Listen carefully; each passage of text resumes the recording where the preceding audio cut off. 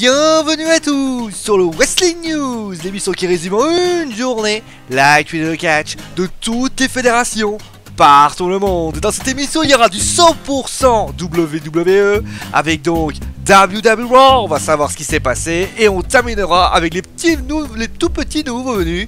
Est-ce qu'ils ont réussi l'essai? Allez, maintenant on commence donc avec Raw et le Highlight Wheels avec leur présentateur favori Chris Jericho avec son invité qui devait être donc Dean Ambrose, mais comme vous le savez, il ne sera pas là suite à l'attaque de la semaine dernière. Il dit d'ailleurs ouais tout j qu'on est des idiots, et oui on est des idiots d'après lui. Et ce sont donc les softs qui se pointent et plus précisément Big Cass qui se pointe et qui lui dit qu'il veut de la baston et que y ça de vrai. Et finalement ça se termine avec un beau Big Boot sur Y2J et un match entre les deux en main event. Le premier match a alors lieu, c'est Balloon Corbin qui bat Dolph Ziggler avec un Hand of Days. Fantango lui perd face à Hard Truth avec un lie détector et après avoir dû calmer 4 nerveux pour l'Ultra-Continental en offrant un match aux 3 et en disant à Sami Zayn qui devait le mériter, eh bien c'est Paige qui gagne face à Charlotte par roll-up. A noter que Ric Flair a voulu venir pour aider sa fille, mais Shane l'a renvoyé puisqu'il était banni. Et ensuite dans ce fameux match, est-ce qu'il méritait Sami Zayn de participer à un match pour le titre intercontinental? Eh bien il le mérite puisqu'il bat le Miz et donc intègre le match pour le titre continental dans un Fatal 4-Way match puisqu'il réussit à le battre avec un low kick. Quant à Sin Cara, il a battu Rousseff avec un roll-up. A noter que Kalisto a joué les moustiques gênant Rousseff. Nous arrivons ensuite au Six-Man Elimination Tag Team Match entre The Family. C'est en fait Roman Reigns et les Usos contre le WWE Club, on va l'appeler comme ça. Et Jay Styles, Doug Gallows et Carl Anderson.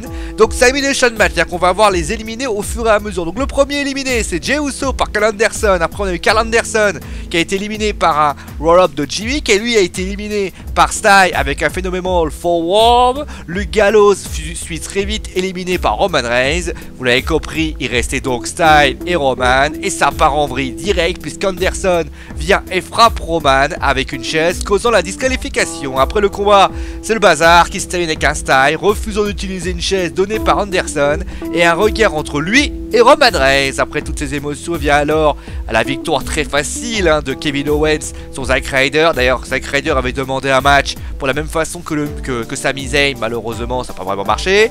Les Dudley Boys qui ont battu les New Day avec un close line. A noter que les Vaudevillians les ont bien gênés. Et enfin, au main event, Chris Jericho contre Big Cass. Pas de match puisque Dean Ambrose s'est pointé pendant l'entrée de White 2 j pour lui détruire carrément sa veste. Et oui, finalement, bah, enfin, il essaie de s'estirper. Hein. Il réussi un petit peu de piquer la veste, mais rien n'empêchera Dean Ambrose avec un Dirty Deed aidé par Big Cass de tout simplement le démolir et de voir la veste de White 2 j de 15 000 dollars totalement détruite. Cela d'ailleurs conclu le show de ce soir. Allez, maintenant on passe eh bien, la nouvelle promotion, on va appeler ça comme ça. La nouvelle promotion NXT, hein, qui sont vraiment, qui ont réussi l'essai en arrivant à les shows principaux de la fédération? On va justement voir et on va tirer un bilan positif ou négatif aux différentes prestations présentes ici. D'ailleurs, avant qu'on commence, vous l'avez peut-être pu remarquer si vous avez suivi déjà Raw, il y a l'arrivée de Dana Brooke qui vient de, NXT. Dana Brooke qui est venu en fait, qui est venu, donc qui a attaqué Becky Lynch avec l'aide d'Emma.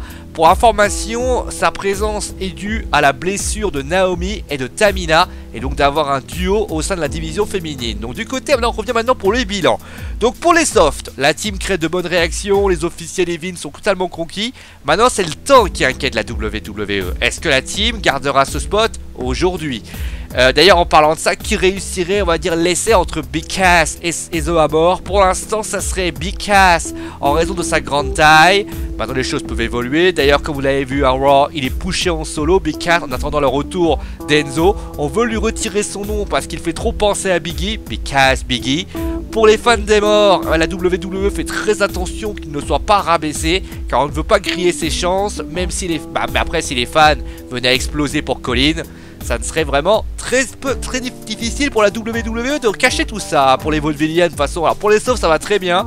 Pour les Vaudevillians, c'est pas terrible du tout parce que malgré leur victoire avec leur, match avec Sumo, donc la victoire à Payback, Vince se trouve très mauvais et la gimmick est totalement stupide. Et on termine avec Apollo Crew. Alors lui c'est plutôt mitigé. Les officiers sont plutôt contents hein, de sa production, le souci vient de sa personnalité qui a du mal à passer auprès du public. Maintenant tout ceci peut très bien vite évoluer. Voilà ce que vous pouvez dire sur les nouveaux venus. Reste à eux bien sûr de confirmer ou de changer la donne. Voilà, c'est la fin de ce Wrestling News. J'espère qu'il vous a plu. Demain au programme, on aura un résumé du show Park Wrestling et on parlera de la TNA qui s'est invitée à Live et c'était pas triste. Bon allez, passez une bonne soirée, n'hésitez pas bien sûr à aimer, partager et à vous abonner si vous avez surkiffé cette vidéo. Nous on se retrouve demain. Allez, ciao tout le monde